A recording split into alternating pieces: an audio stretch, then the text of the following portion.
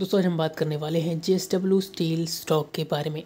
तो शुरू करते हैं आज के 15 मिनट चार्ट की मैं बात करता हूँ करीबन दो परसेंट की गिरावट हमें देखने को मिली है। यहाँ पर आठ सौ सोलह रुपये पर ट्रेड करता हुआ स्टॉक नज़र आ रहा है वहीं। वन डे चार्ट की मैं बात करता हूँ यहाँ पर शुरुआत में तो तेज़ी स्टॉक ने बनाकर दिखाई, लेकिन अभी गिरावट जारी है। देखिए, आप चाहें तो यहाँ पर एक सपोर्ट लगा कर चल सकते हैं। सपोर्ट होने वाला है एट हंड्रेड रुपीज़ का।